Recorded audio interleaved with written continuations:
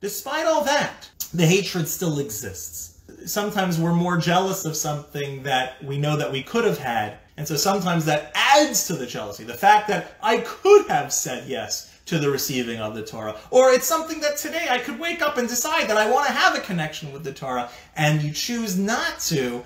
That sometimes brings more ire. That sometimes brings more.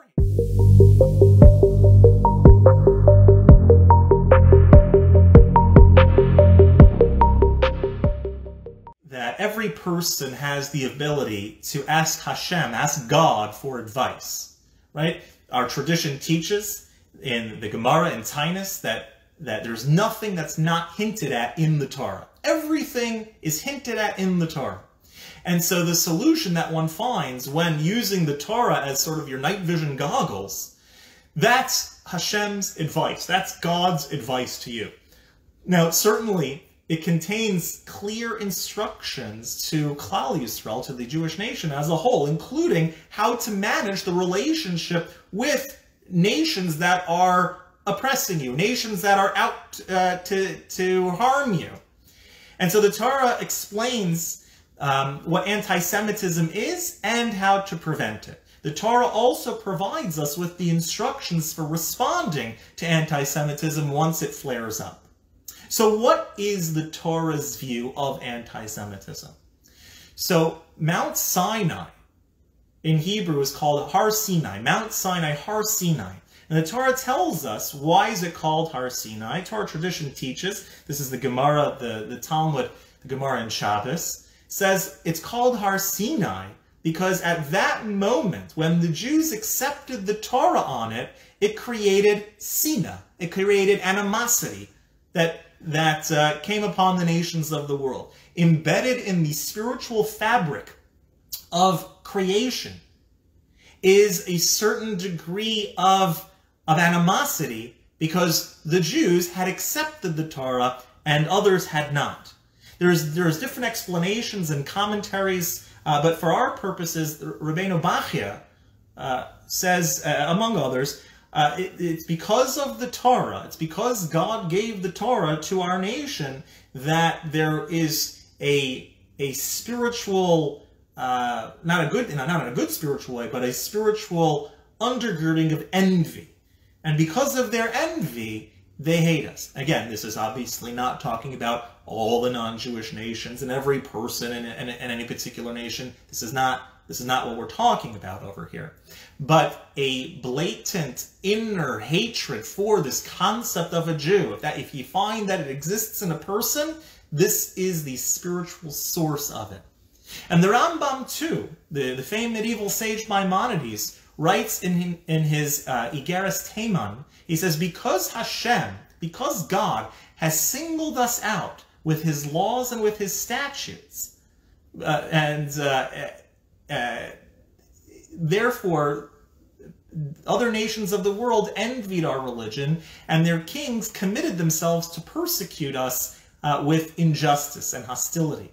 And their desire was to wage war against Hashem and to oppose him.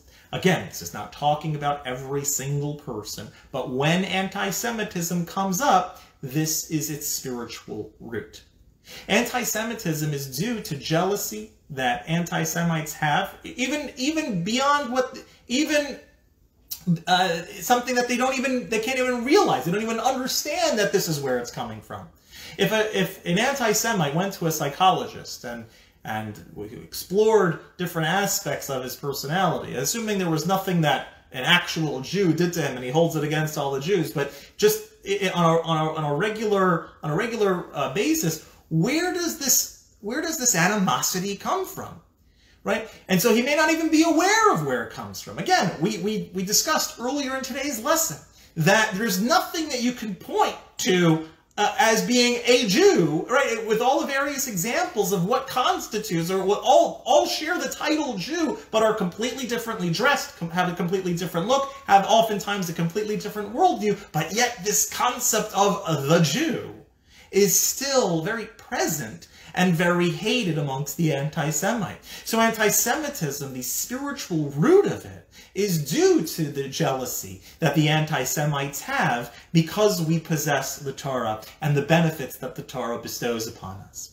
And so this, despite the fact that the anti-Semites were offered the Torah and refused it, right? Still on a spiritual, on a spiritual level, they recognized that they were offered it. God offered the Torah to all of the nations of the world. And they refused it and that that any member of the nations who desires can obtain the Torah and can live by the Torah. That that's that that is the truth. But despite all that, despite all that, the hatred still exists. Sometimes, sometimes we're more jealous of something that we know that we could have had uh, than some than what we are that that's completely removed from us. And so sometimes that adds to the jealousy. The fact that I could have said yes to the receiving of the Torah. Or it's something that today I could wake up and decide that I want to have a connection with the Torah, and you choose not to.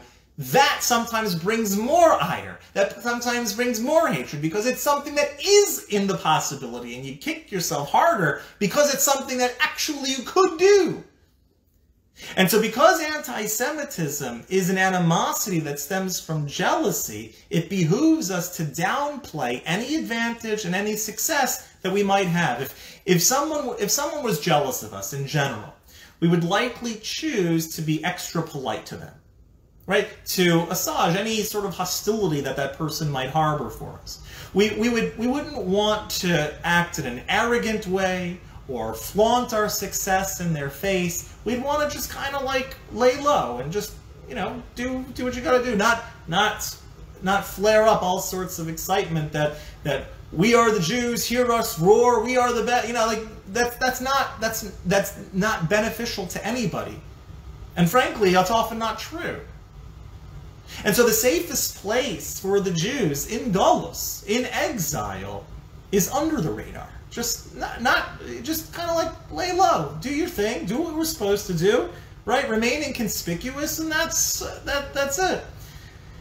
Hashem created different threats, different types of threats that would require different types of reactions. And so when someone, so in general, like the way that Hashem created the world, the way God created the world is that certain threats uh, should be approached and, and dealt with in different ways. So when someone's attacked by a shark, the best thing that they're supposed to do is whack it on the nose as, as many times as you can. But if the same person is attacked by a grizzly bear, the reaction is supposed to you're supposed to play dead. Right? Just lie on lie on the lie down and play dead. So it's the same it's the same type of opposition in theory, right? It's two forces coming at you, but they have two completely different ways in which they are meant to be uh, reacted to. And so uh, when we, we our, our goal, our job is not to is not to fight back and to is not to be uh, in your face and not not to be be inconspicuous. Right? We do our thing. We learn our Torah. We do our mitzvahs. We do we we engage in the world. We we uh, we do what we're supposed to do, but we don't have to make a big thing out of it. There are two ways that you, that you can deal with a disease, right? You can cure it, or if the disease can't be cured, if anti-Semitism can't be cured, it can at least be managed. There are sometimes, at least, even if even if somebody is diagnosed with a disease that can't be that can't be uh, cured, there are ways in which you can manage the pain and manage the the manifestation of the disease. So managing an incurable disease means that you live with the disease, but you administer treatment that would prevent its symptoms from harming and from disturbing the, the, the, the patient. Right? Anti-Semitism is an incurable disease. We are not going to come up with an ideology that is going to, uh, we're not going to come up with another ism, right? Before it was socialism, communism, humanism, all the other isms. We're not going to come up with an ism that is going to get rid of anti-Semitism. What we need to do, what we need to do is just do our thing, lay low, not cause any, not cause any sort of scene. And again, I'm not, I'm not, I'm also not saying that anytime anti-Semitism has come up is because all of the Jews at that time or that place or whatever were guilty of doing such a thing. But the best way to, to deal with an anti-Semitic aggressor is, is, is, to, is to just sort of lay low. not flaunt yourself, not uh, not um, not let the ire swell up uh, even more, right? So, if, imagine that you have a sheep that's sort of surrounded by wolves. So that the more inconspicuous, the more more uh, harmless and, and, unthreatening, and you know, kind of on the wayside that the sheep can look, the, the less the wolves are going to, you know, want to want to eat it. The less the wolves will notice the sheep, the better. You know, um, and so if you look at the Jewish people, if you look at this this Torah nation, as as if we as if we were one of the nations of the world, our survival is inexplicable. But if you look at the Jewish nation as a custom-made metaphysical nation that was set apart by God, chosen for a specific mission, then it becomes our, our unique nature, um, our, our, our reason for survival becomes readily apparent. There's a purpose for the nation to exist. That, that that purpose has not yet been achieved. The nation was promised to be an eternal nation. It makes perfect sense that the nation is here. And so one of the things that are that are important, and based on our discussion, I'm going to kind of tie it up. We can go on about this really for hours. I mean, there's there is so much to to talk about in this. Maybe we'll do a sequel uh, in the in the near future. But here here are some of the points that we can take out of this and how to um, how to promote how to uh, again uh, get rid of it not get rid of anti-Semitism manage anti-Semitism and uh, eradicate it uh, on, a, on a global scale from a Torah perspective. And they both are centered in Torah.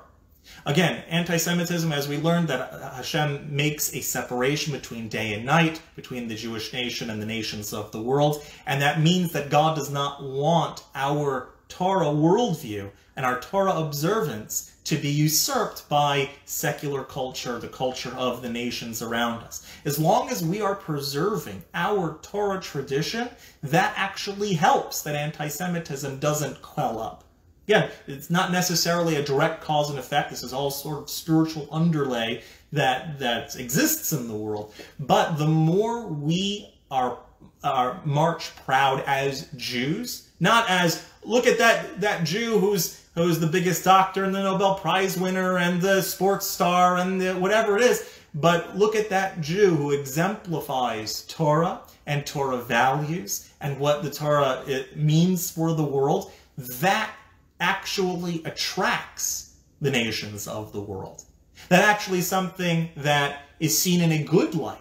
It's kind of like how when a, when a Jewish person, unfortunately, publicly does something wrong, they're busted for some big thing, especially if they look like a Jew and act like a Jew and you know, you know, were religious or had the trimmings of a religious person. It's always seen as like a bigger deal. It's and uh, it's oh look look what the Jew did right? Uh, but when a Jew is doing what they're supposed to do, and we're acting in accordance with the Torah, and when we're acting as uh, as the as a light unto the nations, then anti-Semitism actually does uh, is is lessened. The re respect that others will have for us just naturally will come out uh, from that type of example.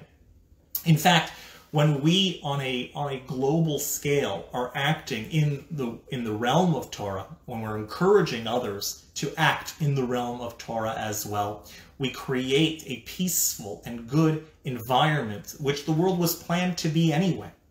If a person really wants to uh, act, be active in quelling anti-Semitism, in eradicating darkness and dark ideas from the world, the greatest way that you can do that is by adding in light. And what that means specifically is getting more in sync with the Torah worldview.